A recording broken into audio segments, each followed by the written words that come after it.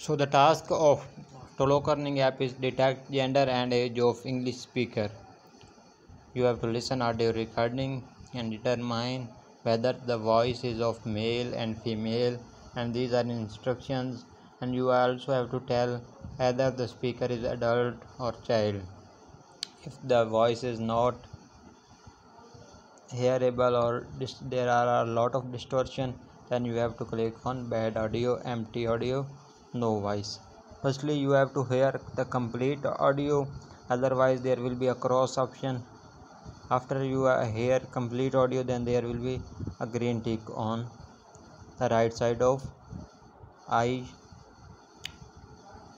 So you have to hear the audio and check whether the voice is of man or woman or ages of adult or child child under 14 years so as you are saying when i hear complete audio then there will be a tick mark.